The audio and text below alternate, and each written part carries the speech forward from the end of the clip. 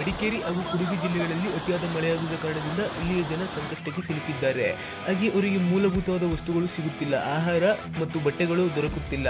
ಹೀಗಾಗಿ ನಮ್ಮ ಸರ್ಕಾರವು ಎಲ್ಲ ಒದಗಿಸುತ್ತಿದೆ. ಆದರೂ ಕೂಡ ಅವರು ಎಲ್ಲರಿಗೂ ಒದಗಿಸಲು ಆಗುತ್ತಿಲ್ಲ. ಹೀಗಾಗಿ ನಮ್ಮ ಸ್ಟಾರ್ ನಟರ ಅಭಿಮಾನಿಗಳು ಒಂದು ಒಳ್ಳೆ ಕೆಲಸವನ್ನು ಮಾಡಲು ಮುಂದಾಗಿದ್ದಾರೆ.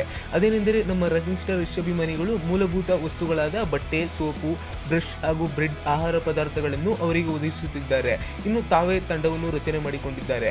ಇದನ್ನೇ ನಮ್ಮ ಶಿವಣ್ಣ ಅಭಿಮಾನಿಗಳು ಕೂಡ ಮಾಡುತ್ತಿದ್ದಾರೆ. ಇನ್ನು ಚಾಲೆಂಜಿಂಗ್ ಸ್ಟಾರ್ ದರ್ಶನ್ ಹಾಗೂ ಪವರ್ ಸ್ಟಾರ್ ಪುನೀತ್ ರಾಜ್ಕುಮಾರ್ ಅಭಿಮಾನಿಗಳು ಕೂಡ ಮೂಲಭೂತ ವಸ್ತುಗಳನ್ನು ಈಗಾಗಲೇ ಒದಗಿಸುತ್ತಿದ್ದಾರೆ.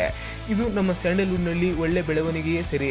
ಏಕೆಂದರೆ ನಾವು ಕರ್ನಾಟಕದವರು, ನಮಗೆ ಇಲ್ಲಿ ಎಲ್ಲ ಒಂದೇ ಎನ್ನುವುದನ್ನು ಇಲ್ಲಿ ಎತ್ತಿಡಿಯಲಾಗಿದೆ ನಿಮಗೆ ಈ ವಿಡಿಯೋ ಇಷ್ಟವಾದಲ್ಲಿ ಲೈಕ್ ಮಾಡಿ, ಶೇರ್ ಮಾಡಿ, ಸಬ್ಸ್ಕ್ರೈಬ್ ಮಾಡಿ. ನಿಮ್ಮ ಅನಿಸಿಕೆಗಳನ್ನು ನಮಗೆ ನಮ್ಮ ಕಮೆಂಟ್ ಬಾಕ್ಸ್ ಮೂಲಕ ತಿಳಿಸಿ.